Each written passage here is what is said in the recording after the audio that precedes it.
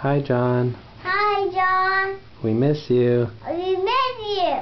Hope you're having a good trip in Hong Kong. Hong Kong. Yeah, John's away in Hong Kong. He's having so much fun. Whoa, that's very close. Say bye, John. Bye, John. See you soon. See you soon.